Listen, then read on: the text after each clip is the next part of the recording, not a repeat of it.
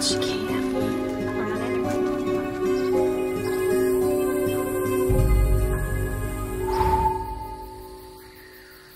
I was diagnosed with ADD.